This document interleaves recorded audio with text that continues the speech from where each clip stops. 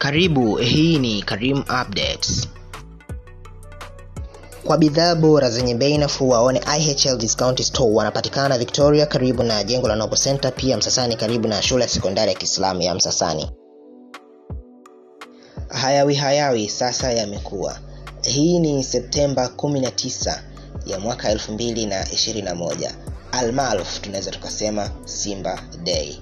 Ni tarehe 19 ambayo ilikuwa inangojwa na wengi zaidi juu ya klabu ya Simba kwenda kutambulisha wachezaji wake wapya na kuzindua rasmi msimu wa ligi kuu Tanzania bara 2021 2022, pia na kujiandaa na klabu bingwa Afrika. Hii Simba Day ya leo itakuwa na vitu vingi zaidi. Kwanza, wameialika klabu kubwa kutoka nchini Kongo inaitwa TP Mazembe kama klabu mpinzani katika mchezo ambao utakaochezwa kati ya Simba na na, na, na klabu hiyo ya TP Mazembe. Sasa Karimu Updates imekuletea baadhi ya tu ya mazoezi ambayo walikuwa wakifanya wachezaji wa Simba kabla ya kujiandaa na mchuano huo mkali ambao utafanyika hii leo jioni. Sasa ni kupeleka katika kiwanja cha mazoezi ambapo wachezaji wa Simba walikuwa wakifanya training za mwisho mwisho ili kujiandaa na mechi ambayo itawakuta wao pamoja na TP Mazembe.